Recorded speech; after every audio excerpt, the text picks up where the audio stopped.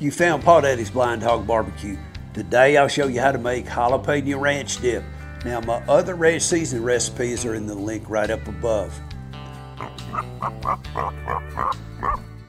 The preparation instructions and ingredients for this jalapeno ranch dip are in the description right down below.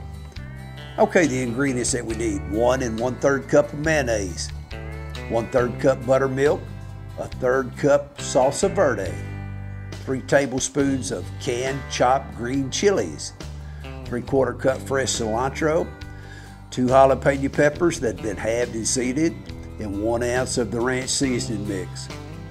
Now all we got to do is place all these ingredients in the blender or food processor and blend it until smooth. Chill for at least an hour.